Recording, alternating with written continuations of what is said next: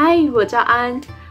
宁靖王祭祀系列呢，我大概会放个三到四集。那可能会有人会觉得说，呃，宁靖王祭祀已经过了有点久的时间，然后也有其他 YouTuber 拍过了，为什么我要坚持生这一个系列？呃，因为我觉得其实，呃，我当天去参加宁靖王祭祀的时候，其实我内心是有很多。呃，很想要分享的东西，例如说，我会觉得它有点像是呃台湾人推行汉服的年度总验收的感觉，然后也同时表达了呃我们对于先人的一些礼乐文化的一个尊崇。那虽然说这过程不一定真的很有趣，但我只是想提供我的视角给呃你们，然后或者是说还没有入汉服坑的人，我想要做一个记录，然后留下我当年参加的样子，然后跟我看到的东西，这一整个。呃，系列就是我说了可能会拍三到四集嘛，不一定只有礼乐的或者是记录活动。那我后来还有请一个呃，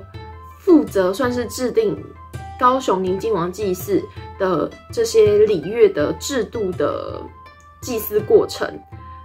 的一个算是。立定人吗？他就是有去考据啊，然后去复兴这一整套的流程。他是蓝世豪先生，那我都就是后来有跟他聊过啊，然后我都叫他豪哥这样子。那豪哥大概有跟我拍了大概两个小时的影片，那我会把它稍微做剪接这样子。不过，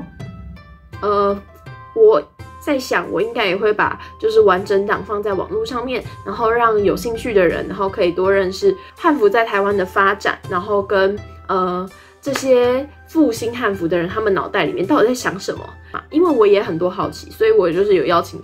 老师来帮我们讲解。那如果说，呃，你有觉得哪些老师是你在汉协里面看到，你觉得我可以做访问的人，也可以在下面留言告诉我，然后我会尽量去帮大家敲时间，然后看有没有办法，就是邀请这些老师来帮我们，就是做讲解。像是我们祭祀的时候有，呃。古琴礼啊，然后还有呃社礼啊，跟南管乐团的一些表演啊之类的。我希望我可以多拍影片，然后让更多的人了解说，呃，从零到有的这个过程到底是怎么样。虽然说云雨集现在已经是一个团体，然后呢，我只是经常在上面露面的人，但是呢，事实上就是因为大家都比较忙的关系，所以目前剪啊跟拍啊都还是我为主，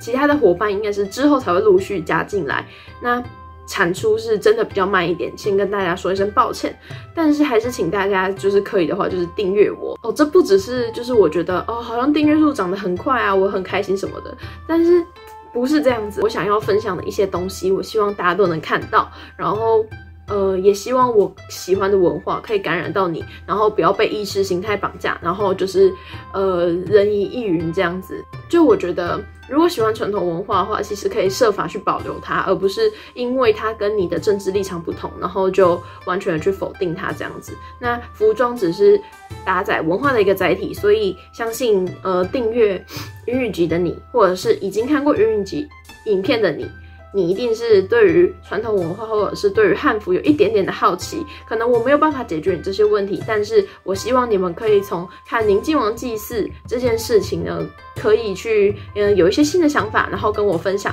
然后跟呃在这边聚集的跑子们分享。那这一部影片大概就是这样子，先跟大家说明一下而已。那嗯，应该这部影片上的同时，呃，第一支。